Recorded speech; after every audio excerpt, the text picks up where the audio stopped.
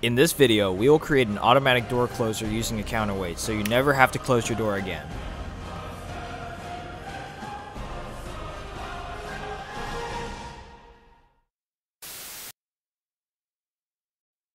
Are you tired of telling people to close the door on their way out and they never do, so now you gotta like get up from bed and do it yourself?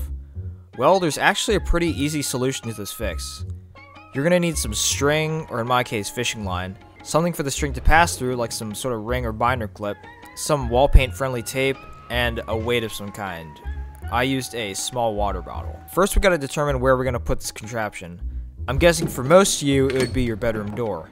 But my bedroom door has a slightly more complex system that we're to get to in a later video. For this case, I will be using my closet door. Take the first of your rings and place it on the inner part of the door in the corner.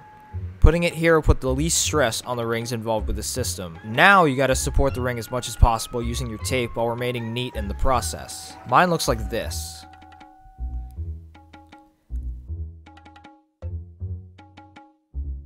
Now we will add the other ring to the inside of the door frame. Repeat the same process as the first ring and secure it as tightly as possible against the frame. Now we measure the string, so take the end of the spool and tape it under the ring.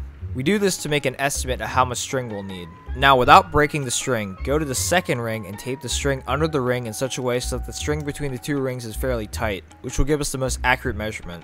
We can now take string under the first ring and tie a knot to secure it in place. Now be sure the door is at least fairly open and pick a spot on the string that is fairly high up. Cut the string there, and that is where you will tie the weight. Before tying the weight on, take the string and pass it through the second ring. Once the weight is tied, the contraption should pull into action and it should work like this.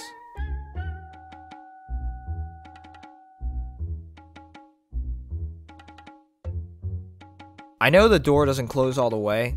In order to make the door fully closed, you need a heavier weight and also some more supportive rings because of that heavy weight. But for now, this will do.